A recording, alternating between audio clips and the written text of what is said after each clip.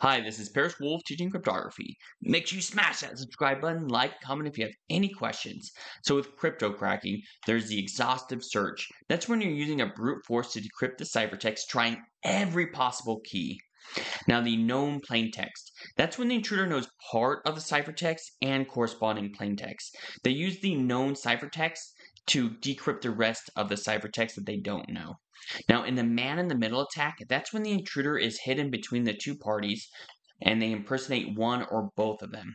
And so if the network communication, they're intercepting here as it's traveling, and they're modifying that data, pretending to be this side or this side, or both.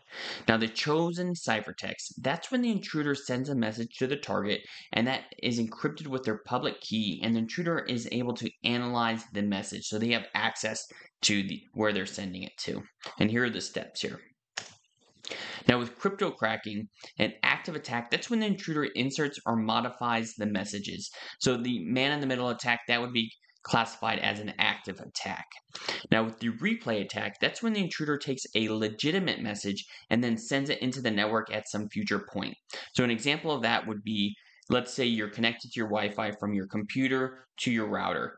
Now those Wi-Fi signals, how the attacker would do it, they would jam that signal and then they would unjam it.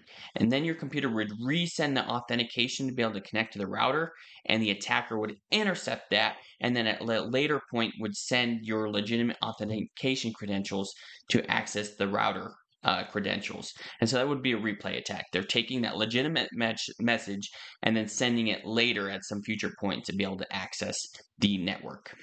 and then there, there's the cut and paste attack, time resetting, a time attack, and the RSA cracking.